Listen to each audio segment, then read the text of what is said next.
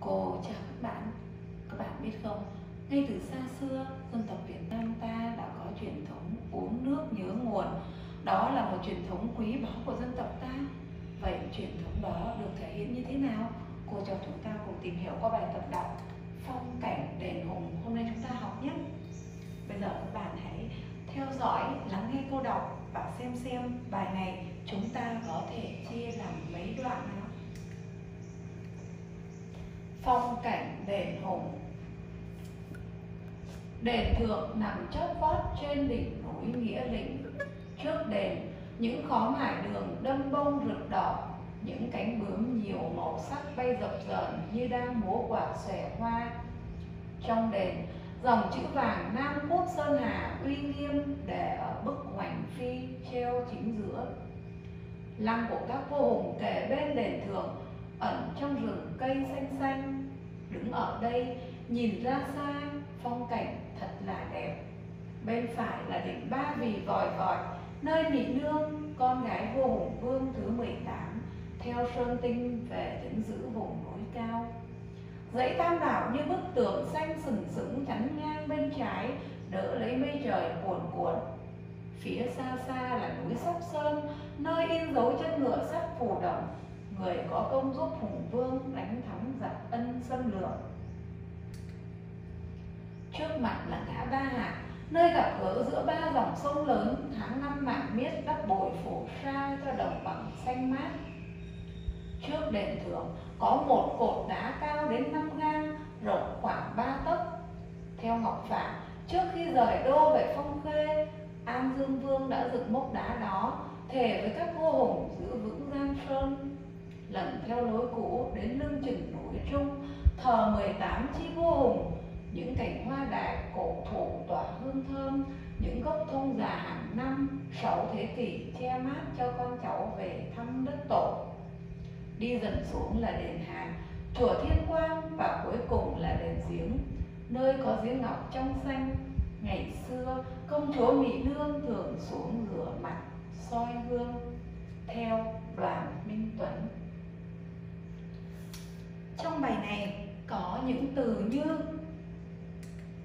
đền hùng là đền thờ các vua hùng ở núi nghĩa lĩnh, thôn cổ tích, xã hy cương, huyện lâm thao, tỉnh phú thọ. Và đây là phong cảnh của đền hùng ở trên núi nghĩa lĩnh. Nam quốc sơn hà, ý trong bài chỉ tổ quốc việt nam.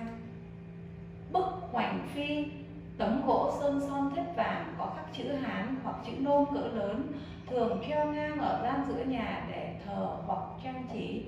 Và đây là hình ảnh của bức hoành phi. Chi, một nhánh ở trong dòng họ. Ngã ba hạng nơi sông lô chảy vào sông hồng. Các em quan sát, đây là hình ảnh của ngã ba hạng nhé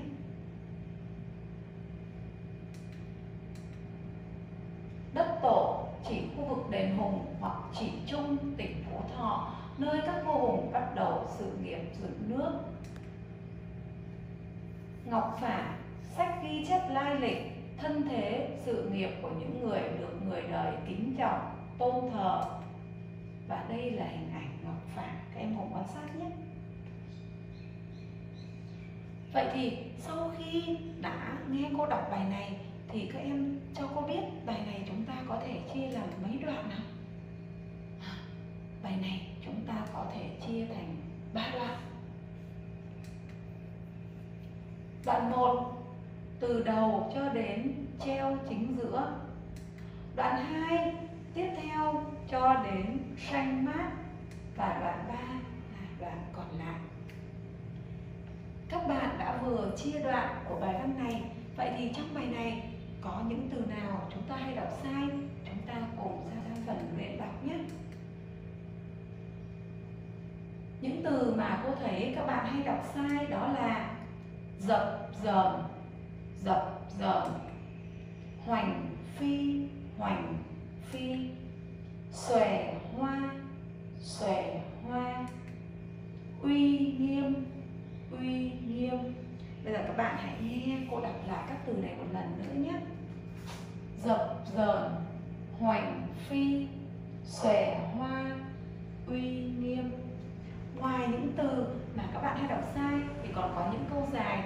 Các bạn lưu ý cách nhắc nhé ví dụ như cô có câu sau. Trong đền dòng chữ vàng nam quốc sơn hà uy nghiêm để ở bức hoành phi treo chính giữa. Ở câu này các bạn nhắc như sau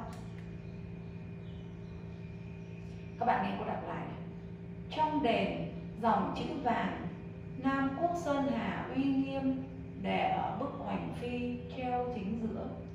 Hoặc câu sau.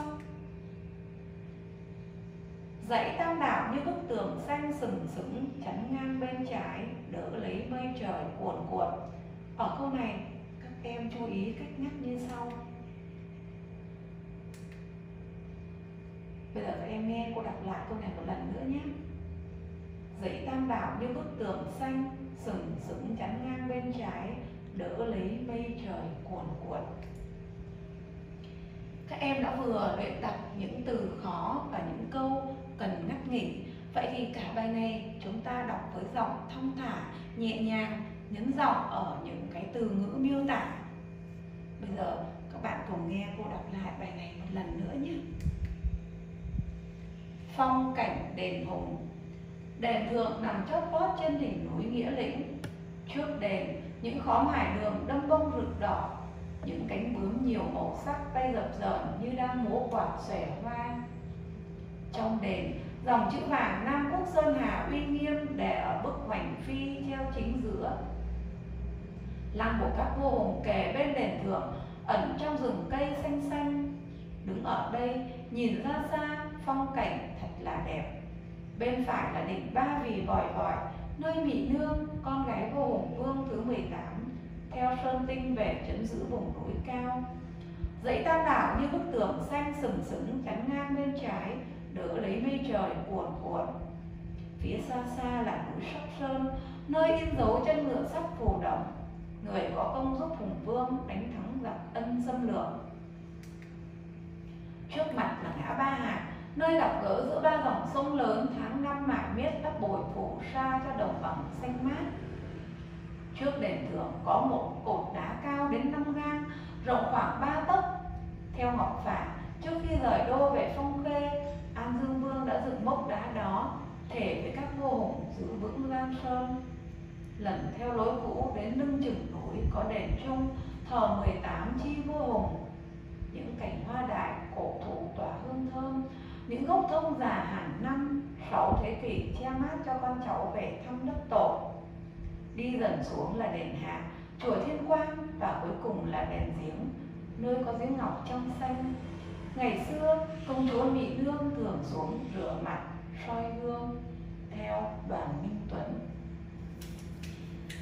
Các em đã vừa luyện đọc bài này, vậy thì để biết được nội dung của bài là gì, cô cho chúng ta cùng sang hiểu bài và các bạn hãy trả lời bộ câu hỏi của cô. Trong quá trình trả lời câu hỏi, nếu có điều gì thắc mắc, các bạn cứ hỏi cô nhé. Cô, chào các bạn.